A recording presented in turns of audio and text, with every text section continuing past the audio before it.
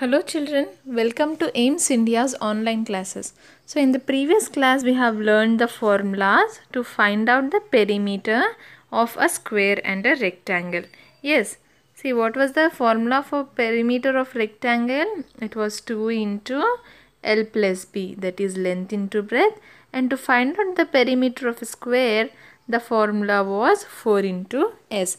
Now on the same formulas let us solve some exercises. What is it? Find the perimeter of the following objects using the correct formulae.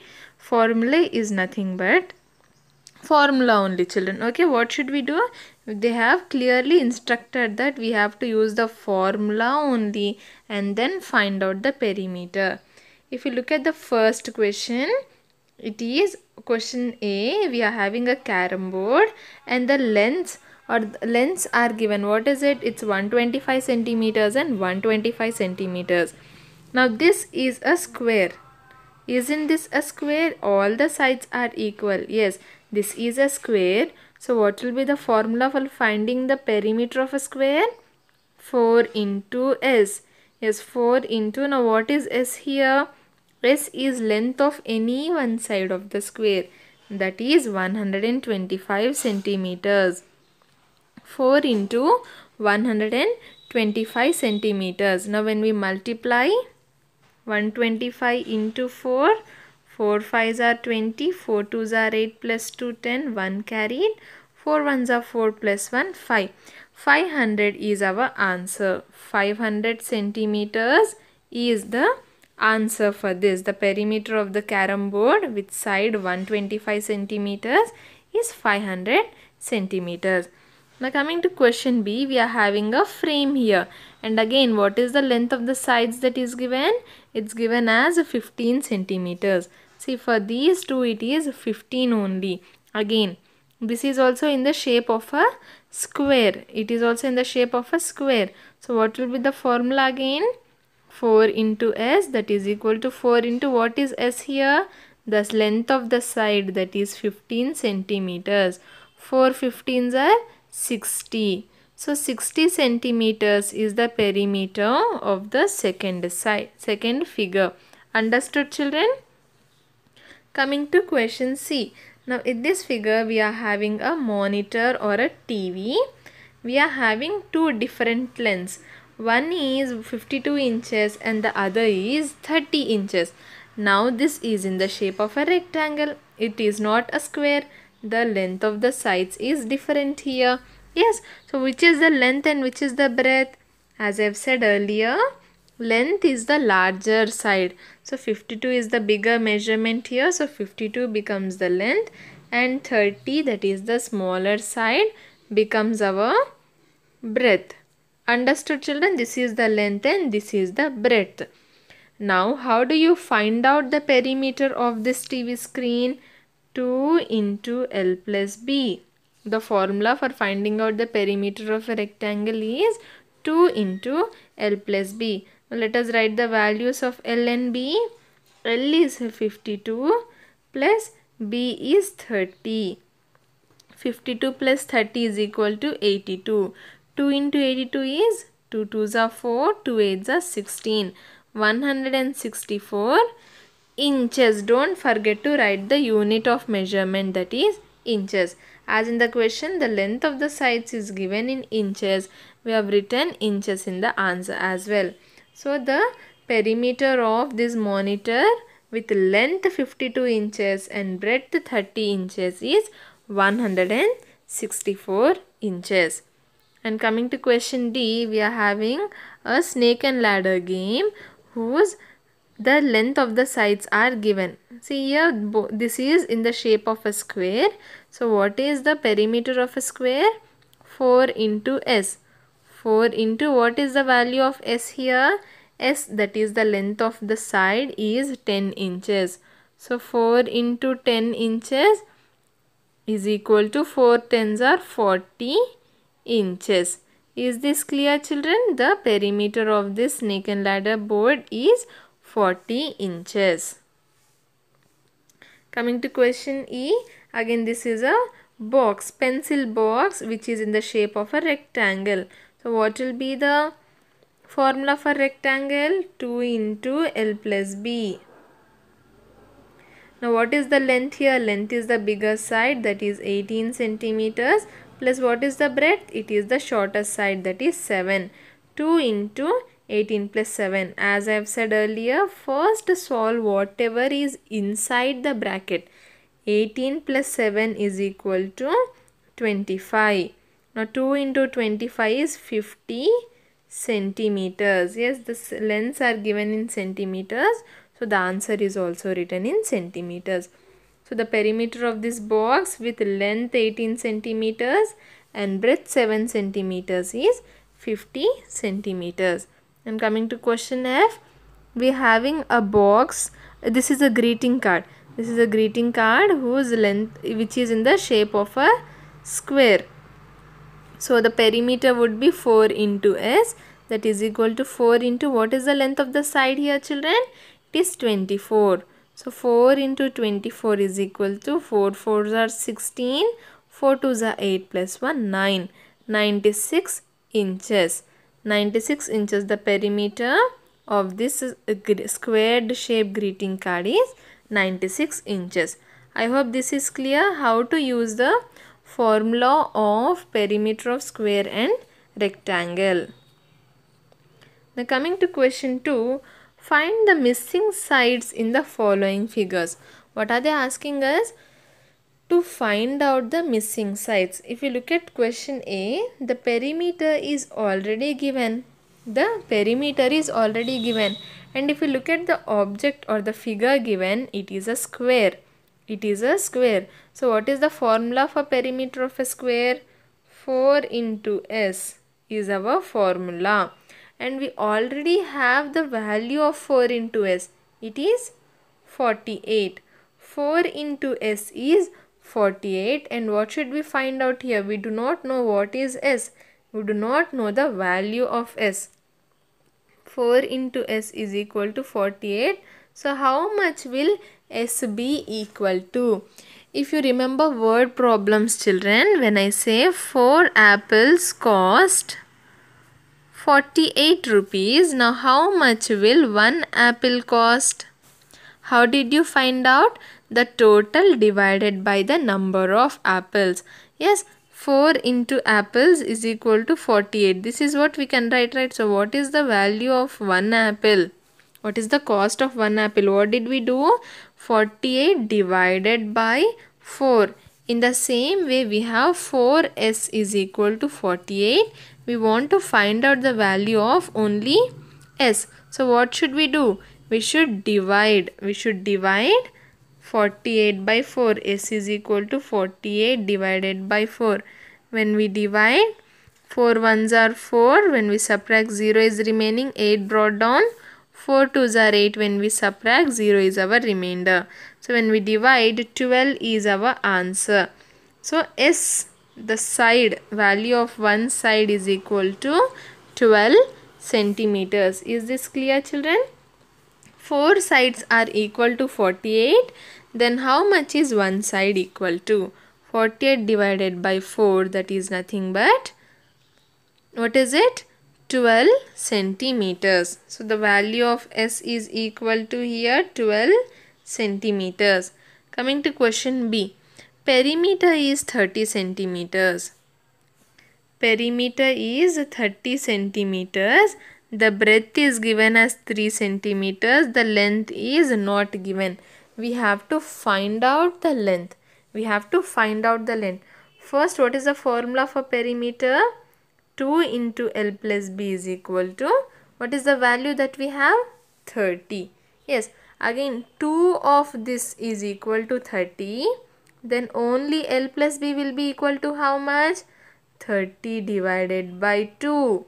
So L plus B is equal to 30 divided by 2 that is 15. Now from this L plus B we already have the value of B. L plus B is equal to how much? B is equal to 3 centimeters. L plus 3 is equal to 15.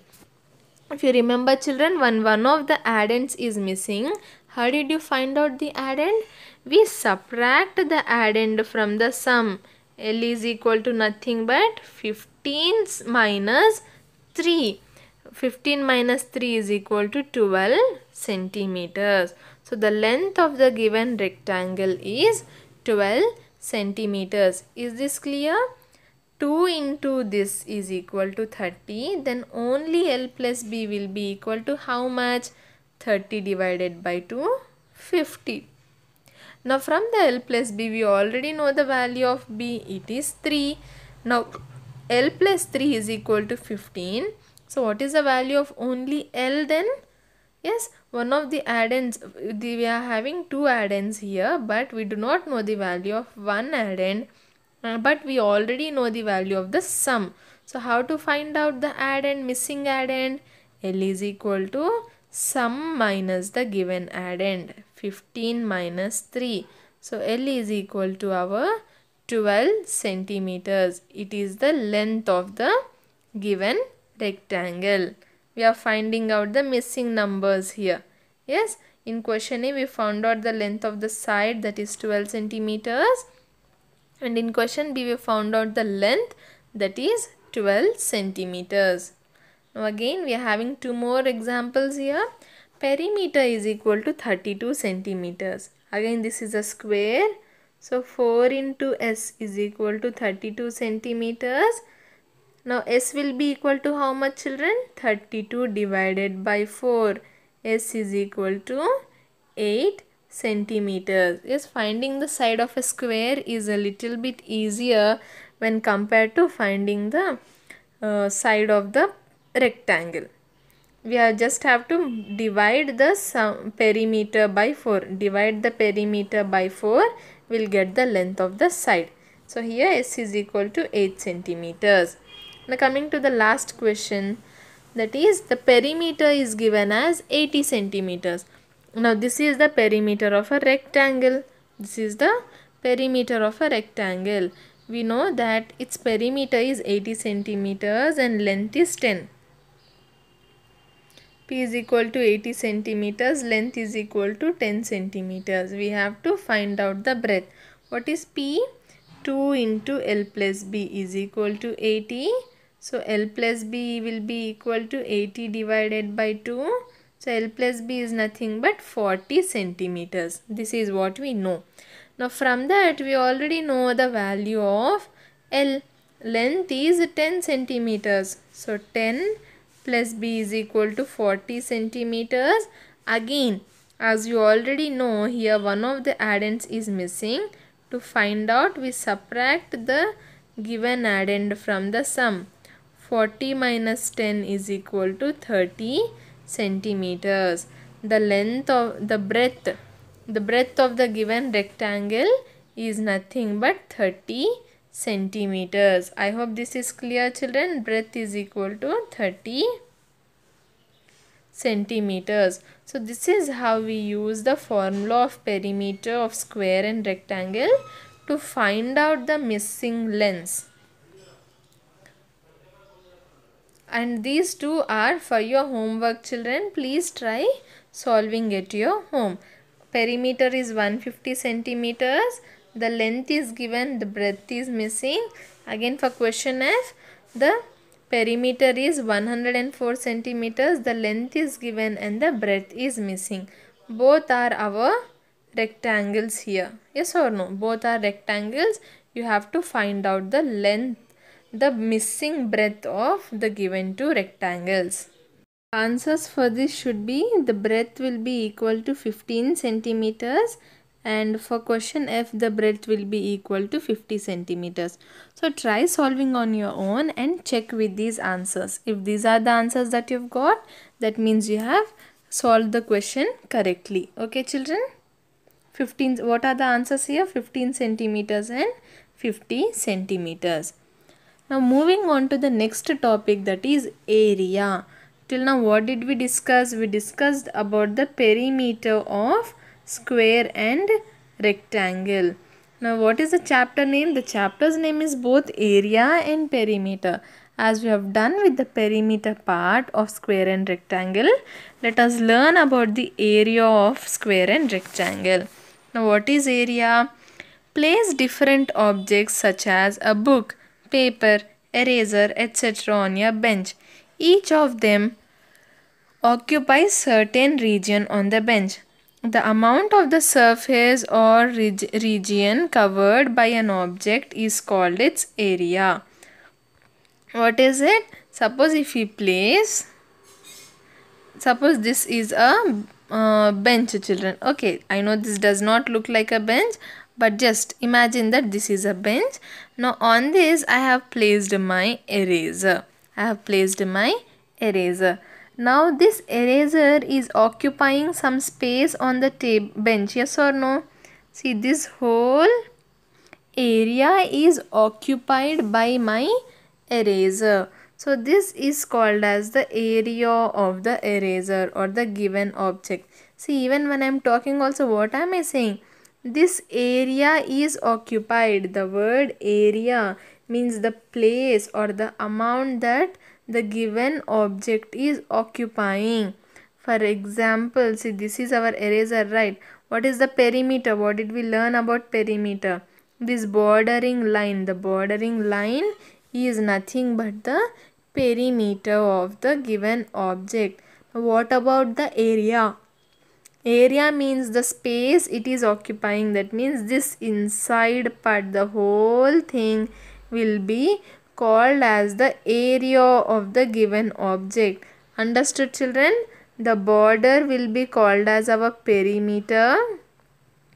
The border length will be called as the perimeter and the inside part between the borders whatever space we are having that will be called as our area of the given object. This inside part will be called as the area of the given object. Now for example, if you take a room, if you take a room, is this bordering, if you walk across the room like this on the borders, that means you will cover the perimeter of the room. But inside the room, whatever place we will be having, that will be called as the area of the room. Understood children? The main difference between perimeter and area. Perimeter is just the border line. Area is actually the amount of space occupied by the object or the amount of space in the room. Now why do we need to learn about this perimeter and area? Is this anyway useful for us for the perimeter and area? Is it useful in our daily life? Yes. Suppose again if I have a room in which I want to place so many tiles. Understood? Or I want to paint the uh, whole room. Understood children? I want to place tiles like this, squared shape tiles. Now to find out how many tiles I need, I have to find out the area of this room. Yes, depending on the area, I will be able to find out the number of tiles I need to place inside the room. Now in the same way I am having a if I am having a little uh, garden in my house and I want to place a fence. What do I want to do? I want to place a fence around my garden so that nobody will enter into my garden and uh, harm the plants. So to to know how much fencing will I need, I should know the perimeter that is the border line. What should I know? I should know the perimeter of the garden that is so that I'll know how much fence will I need to cover the whole garden. So like this the area and perimeter are used in our daily life children in many situations. I've just given two examples. In many situations we use the area and perimeter to solve our daily life problems. The amount of surface or region covered by an object is called as the area. In your previous classes, you have learned how to find out the area of certain figures by counting the number of unit squares they occupy. For example, the area covered by the doormat shown here is 28 square units. Now, what are they saying? What is the area? Area is all the space that is occupied by the object. Now, from this, we already know see uh, we had this type of counting squares for perimeter also Yes, now this is the length of each side is equal to 1 centimeters. So what will be the perimeter for this? If we count the number of sides here 1, 2, 3, 4, 5, 6, 7, 8, 9, 10, 11, 22. In total it is having 22 sides here. That is equal to each side is equal to 22 cent uh, 1 centimeter. So the perimeter becomes 22 centimeters. Now coming to area that means how many uh, how much space is it actually occupying? Uh, with the help of these squares we want to find out the number of squares this doormat is occupying how many squares? 1 2 3 4 5 6 7 in total 28 if you count the number of squares occupied by this doormat it is completely occupying 28 squares. So the area uh, covered by the doormat shown here would be 28 square units if you observe we are mentioning the SQ here SQ means square SQ units what is the unit of measurement written SQ units is nothing but square units. The area of the given doormat is 28 square units. Why is it 28 square units? Why? Because it is covering 28 squares. Isn't it or not? It is covering 28 squares. So the area of this given doormat will be represented as 28 square units. It is very simple children. Perimeter is just adding the boundary lines or the lengths of the uh, length of the sides of a given figure but area is actually the total amount of surface that is covered by the given object. Now this welcome mat here is covering a total area of 28 square units. It is occupying 28 squares here. Is this clear? Now coming to the area of a rectangle. Rakesh wants to put tiles on the floors of different rooms of his home. Find the areas covered by tiles in each place by counting the number of tiles. The floors in all the rooms are rectangular in shape. Now find the length and breadth of the each floor and fill in the given table. What are they saying here? Our Rakesh wants to put tiles. What are tiles children? See, are you looking at this here little squares? Colorful squares. Now these are nothing but the tiles. We use tiles in our bathrooms, kitchens and in all our areas. On the floor we place tiles. So our Ramesh here wants to place tiles in both the uh, in different rooms of his house. First what should we do? What is our task? Find the areas covered by tiles in each place by counting the number of tiles. Now this is the representation of the floor of drawing room and this is the representation of the floor in kitchen room. First we need to count the number of tiles. How many tiles are there? That is the number of squares. 1, 2, 3, 4, 5 in total we are having 20 tiles for drawing room we, we are having 20 tiles and when we come to the kitchen room we have we have 24 tiles so in drawing room we have 20 tiles or 20 square units the area of the drawing room becomes 20 square units and when it comes to kitchen in kitchen we have 24 tiles. It is nothing but 24 square units. Now find the length. All the floors in the room are rectangular in shape. So also find the length and breadth of each floor and fill the table given below. What should we do? First we have found out the number of tiles occupied and also if you observe what is it children? If we observe the given so let us find out the length and breadth of these rectangular rooms. What is the length here? 1, 2, 3, 4, 5. Length is equal to 5 and what is the breadth? 1, 2, 3, 4. Breadth is equal to 4. For the drawing room, length is 5, breadth is 4. The total number of area by counting squares is 20. Yes or no? See, we have a total area of 20 tiles here. So the total area by counting squares is 20. Now if we look at this column, this is saying L into B. What does that mean? That means we have to multiply the length and breadth. Length is 5 and breadth is 4. So 5 into 4 is equal to 20.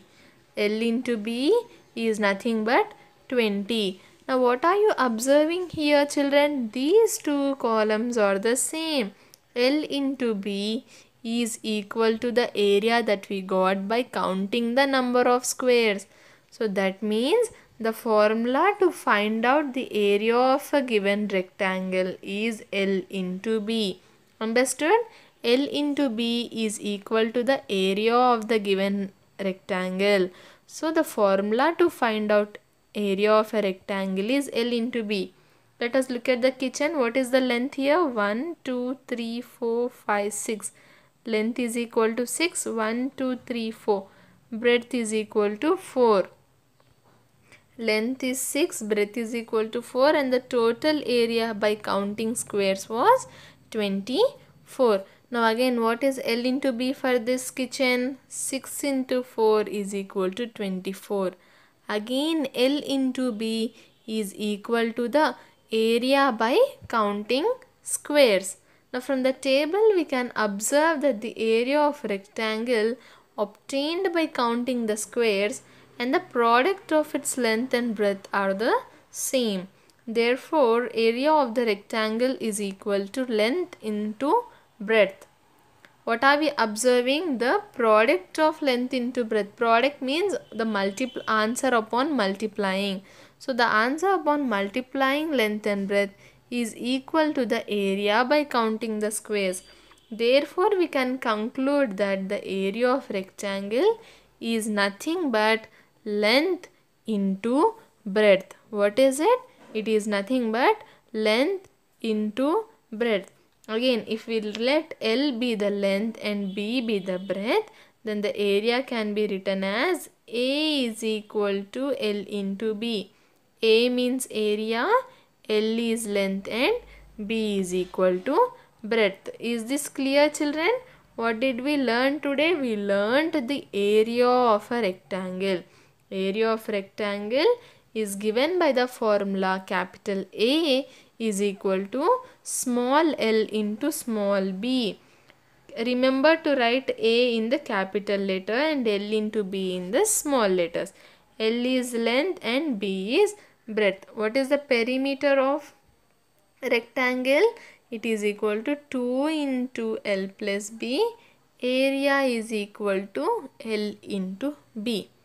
Is this clear children? Area is the total surface covered by an object perimeter is just the boundary line this is the perimeter and this inside part will be our area and we'll end our today's class here yes we'll discuss about area of square and also we'll solve exercise problems on area of rectangle and square in the coming class yes children i visit our website www.aimstoday.in for other information regarding online classes, quizzes, live worksheets, DIY activities, English classes and coding.